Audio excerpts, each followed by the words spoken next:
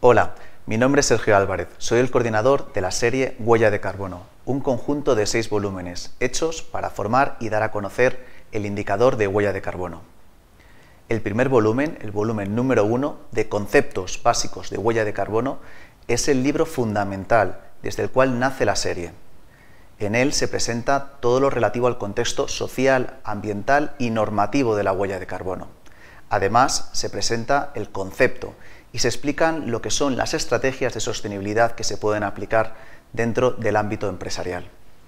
Sus autores, los conocidos autores dentro del equipo Huella de Carbono UPM, son, en primer lugar, Sergio Álvarez, evidentemente coordinador, pero también tenemos a los profesores Agustín Rubio, Carmen Avilés. La investigadora Ana Rodríguez Olaya también participa en este volumen. Esperamos que este libro os introduzca de una manera coherente el indicador huella de carbono y evidentemente lo apliquéis en vuestro ámbito tanto profesional como personal.